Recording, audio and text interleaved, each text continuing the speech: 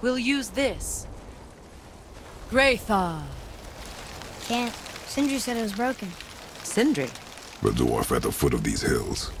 He was fixing it when we got here. Well, no one was there when I passed by. Perhaps he finished. Dwarves are awfully resourceful. And irritating, based on the two we have met. That too.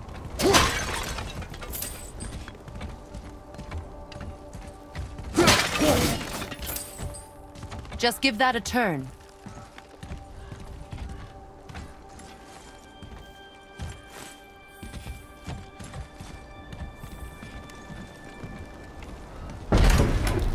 There.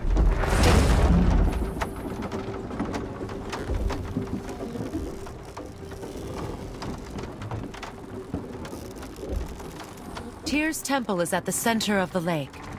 It is from there we travel to Alfheim.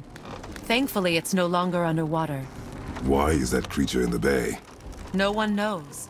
He just appeared one day. Soon after, Thor attacked, and their battle could be felt across all the realms. Ultimately, it ended in a stalemate, and Thor returned to Odin empty-handed. The serpent stayed and grew so large, he now spans all of Midgard. See? Told you. They've hated each other ever since. Destined to kill each other come Ragnarok. You believe in Ragnarok?